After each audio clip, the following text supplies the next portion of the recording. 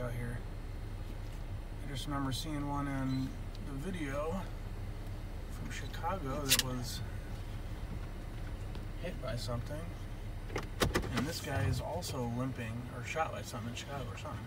But this guy's limping. Oh no, he's not. He's like trying to chase stuff. Looked like he was limping for a second. He was like he pounced on something right there. Let's see what he does. He's chasing. Oh, he's chasing mice. There he goes. He got something. There he goes. He just ate.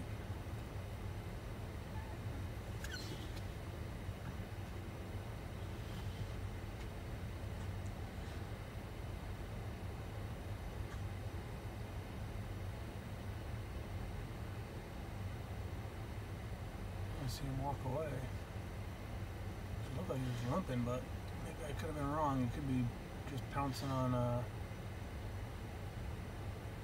Oh yeah, there he is. He is limping. Yeah, you see that?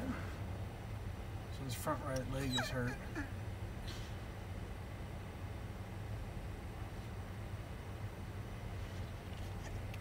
This is in Oswego. Right behind Oswego East High School. Yeah, he's definitely injured. He's going to the fields looking for something to eat.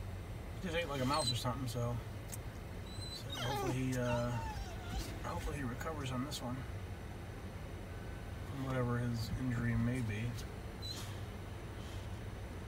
He's got like a sprained sprained ankle, something.